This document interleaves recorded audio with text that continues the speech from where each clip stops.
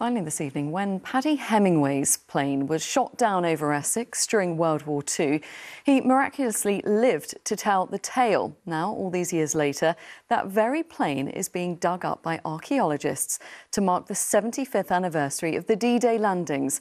Sally Williams joined them for the historic dig. To many, it's just a pile of mud. But buried somewhere in here is the wreckage of a Second World War hurricane like this. Just some of the few to whom all of us owe so much.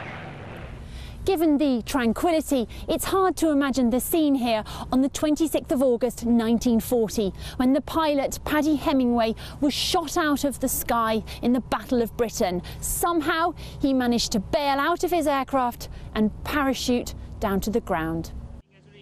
The first thing to be found today was an old machine gun. So they'd have had four in each wing. Then nothing for the next two hours. We're getting deeper and deeper now, and what's really strange is that you can actually smell aviation fuel. Finally, after several hours digging, bingo. Right on the wreck now. Rolls Royce? Amazing.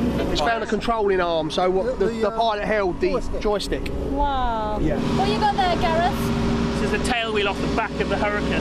When the pilot realised he'd, he'd had to, got to get out, he'd have slid the canopy, the hood back along this rail and parachuted out. But that was one of his last contacts. He slid the slid the hood back down that. So that's a That's amazing. probably a bit of history there. Behind the dig and filming it for a documentary is Jeff Clark. just nice to be able to be here and uh, be proud to be British again and have something that's you know say something that's of heritage and uh, stands for everything that Britain's supposed to be.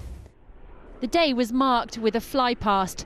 The team can't wait to share their find with the pilot Paddy, who's now 99 and a hero of the hurricane. Sally Williams, ITV News, Thurrock. Amazing findings.